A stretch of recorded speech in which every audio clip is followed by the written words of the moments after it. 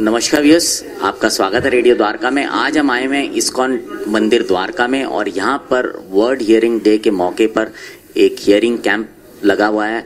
इस कैंप को ऑर्गेनाइज किया है डॉक्टर राम कुमार ने, जो कि डायरेक्टर हैं रैम्पो क्लिनिक द्वारका के सोना देव आरोग्यम और उनके साथ और भी ऑर्गेनाइजेशंस हैं जो जुड़ी हुई हैं। आइए इस सब के बारे में बात करेंगे और आइए अब बात करते हैं इस कार्यक्रम के मुख्य अतिथि प्रशांत मुकुंद प्रभु जी से।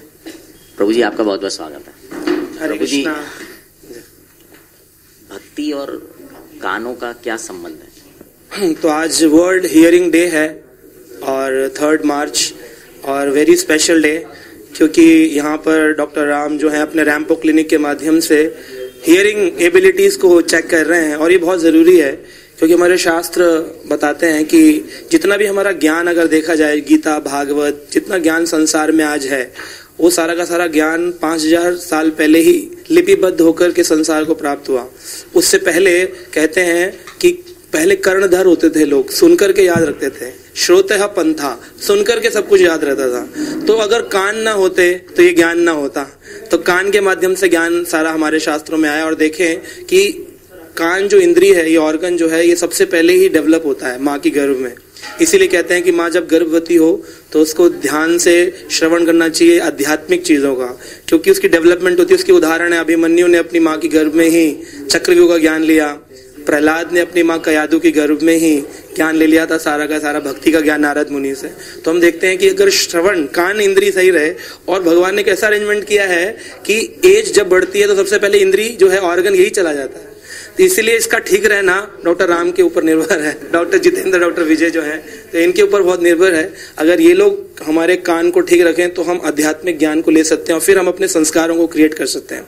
सो आई थिंक इस हियरिंग डे पर ये बहुत बड़ा एक उपलब्धि है कि हम सबके ऑर्गन्स चेक करें और उनको स्पेशल स्पिरिचुअल प्लेस पे लाकर के स्पिरिचुअल आइडेंटिफिकेशन कराएँ कि कान का ज़रूर, इसलिए भगवान ने दो कान दिए बोले, ज़्यादा सुनो और बोलो कम, एक मुँह दिया है। तो लोग, लेकिन आज क्या है, सुनना नहीं चाहते, खाली बोलना बोलना चाहते हैं। तो उनको सुनना है तो आध्यात्मिक ज्ञान सुने और अपने जीवन को सफल बनाए। तो मेरे साथ डॉक्टर विजय कुमार हैं जो कि एमएटी में एचओडी हैं हियरिंग डिपार्टमेंट के। अ, सर अ, जैसे कि प्रभु जी ने बताया ये तो एक पक्ष ही। है आदमी लोग को कितना ध्यान रखना चाहिए अपने कान का? हरे कृष्णा सबसे पहले मैं ये बताना चाहूँगा कि सुनना एक बहुत ही इम्पोर्टेंट हमारे एबिलिटीज हमसे हम हमें ऑफ़र हुआ है। सो कोई भी एबिलिटी जो भी ऑफ़र हुआ है हम जितना इसका एक प्रिजर्व करके यूज़ करें उतने लॉन्गेविटी और लंबे टाइम तक हम यूज़ कर सकते हैं। कई बार डे टू डे लाइफ में छोटी छोटी एक्टिविटीज़ होती हैं जो हम जानते नहीं है और अनजाने में हम कान को नुकसान पहुंचाते हैं। सो कान जैसे सारे शरीर के बा, बाकी सारे अंग के बारे में आजकल काफ़ी अवेयरनेस है। मीडिया का भी काफ़ी बड़ा रोल है इसमें। उसी तरह कान के कान के बचाव के लिए और कान की सुरक्षा के लिए भी कई सारे छोटे छोटे ऑब्जेक्टिव्स हैं छोटे छोटे इश्यूज़ हैं जो हमें ध्यान देना चाहिए। एक सिंपल सा इशू है कि कोई भी फॉरेन ऑब्जेक्ट अगर हम कान में इंसर्ट करते हैं न चाहते हुए भी कई बार हम कान के पर्दा इन, इन चीज़ों को हम डैमेज कर लेते हैं।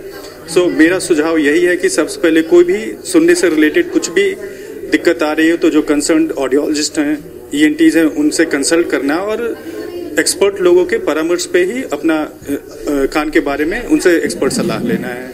इस तरह से हम अपने कान की सुरक्षा कर सकते हैं और लंबे टाइम तक हम हेल्दी हियरिंग एंजॉय कर सकते हैं। सो भैया सब मेरे साथ दिल्ली की जो ब्रांच है Indian speech and hearing association की उसके general secretary mister Jitendra Saini मेरे साथ हैं। जितेंद्र जी हियरिंग और स्पीच एक बहुत इंपॉर्टेंट रोल प्ले करती हैं लाइफ में। आमतौर पर हमने देखा है लेकिन जितनी इनकी इम्पोर्टेंस होती है लोग शायद उतना ध्यान नहीं रखते इन चीज़ों का। जी। बहुत लाउड म्यूज़िक सुनते हैं और भी तरह की जो चीज़ें हैं, उनको बहुत लाउड सुनते हैं। प्रेशर हॉर्न्स ये सब चीज़ें। ये कितना नुकसान पहुंचाती हैं? ओके लाउड म्यूज़िक सुनने से सबसे पहले तो आपके जो कान की, जो सुनने की क्षमता है, वो कम हो सकती है और उसके अलावा आपको कई सारे, जैसे बोलते हैं अवसाद या टेंशन या तनाव ये सारी चीज़ें भी हो सकती हैं। तो आपने भी देखा होगा, जब आप किसी शांत जगह में रहते हैं तो आप बड़ा आरामदायक फील करते हैं। बट जैसे ही आप बाज़ार की ट्रैफ़िक की नॉइस में जाते हैं तो एक इरिटेशन सी हो जाती है। घर जाके आप सोचते हो कि थोड़ी देर के लिए मैं आराम करूँ। तो ये सबसे हमें दूर रहना ज़रूरी है, लेकिन आजकल की लाइफस्टाइल ऐसी बन गई कि इतना सब कर पाना मुश्किल है। तो मैं जो अपना सिंपल से, मैं जो खुद पे अप्लाई करता हूँ सोल्यूशन वो सबके पास ईयरफोन्स होते हैं, जो कान को प्रॉपरली पैक कर देते हैं। तो जब मैं मेट्रो में ट्रेवल कर रहा होता हूँ या बस में ट्रेवल कर रहा होता हूँ तो मैं उनको ईयरफोन को लगा लेता हूँ, गाने सुनने के लिए नहीं, ताकि बाहर का नॉइज़ कम हो जाए। हालाँकि ईयर प्रोटेक्टिव डिवाइसेस भी अवेलेबल होते हैं ईयर बर्ड्स होती हैं ईयर मफ्स होते हैं तो जो हैवी मशीन्स जहाँ पे चलती हैं ट्रैफ़िक की नॉइज़ वगैरह होती है तो जहाँ भी पॉसिबल है ईयर प्रोटेक्टिव डिवाइस यूज़ कर सकते हैं। बट अगर कुछ भी नहीं है उस टाइम पर नहीं है, जब आपको ये इन्फॉर्मेशन मिली, क्योंकि मुझे लगता है इंडिया में बहुत सारी, बहुत एक बड़े सेक्टर को ये इन्फॉर्मेशन पता भी नहीं है। तो आपके ईयरफोन्स हैं जो आपके कान को प्रॉपरली पैक करते हैं, वो वाले जो टिप वाले होते हैं। अब उनको भी अगर पहनेंगे ना तो कुछ हद तक जो नॉइस होती है, वो कम हो जाती है। तो अगर ये सारी चीज़ें रहेंगी तो यू नो एक आरामदायक ज़िंदगी, जैसे टेंशन फ्री जिसे बोलते हैं, ये अननेसेसरी टेंशन आपकी लाइफ में नहीं आएगा। और ज़्यादा म्यूज़िक सुनेंगे, आपकी जो श्रवण शक्ति है जल्दी कम होगी, जल्दी कम होगी, फिर आपको हेरीगेट पहनना पड़ेगा। आपको उस पर निर्भर रहना पड़ेगा, ऐसे नहीं कि उस पहनने से कोई नुकसान है बट जब हमारे पास भगवान का दिया हुआ इतना अच्छा एक इंद्रिय है, जिसे हम पूरे लाइफ लॉन्ग प्रिजर्व करके रख सकते हैं तो क्यों ना हम अपने ओरिजिनल से काम चलाएँ? राइट थैंक यू सो वी सब मेरे साथ डॉक्टर राम है। डॉक्टर राम आज के इस कैंप का क्या पर्पज है? आज जो इवेंट है वो रैम्पो क्लिनिक रजिस्टर्ड है W H O world health organization में। तो एक अवेयरनेस है जो हियरिंग एंड लिसनिंग का अवेयरनेस आज हम कम्युनिटीज uh, को uh, ना एज ए गिफ्ट हम लोग एज ए फ्री सर्विसेज़ दे कर करके हम लोग team of doctors professionals no specially audiological department ये आज कम्युनिटीज को दे रहे हैं। आज अगर हम देखेंगे तो एक टीम बनाए हैं जो कि एक इंस्टीट्यूट से, ना एच है प्लस एक जनरल सेक्रेटरी हैं दिल्ली स्पीच इंजीनियरिंग एसोसिएशन के लिए।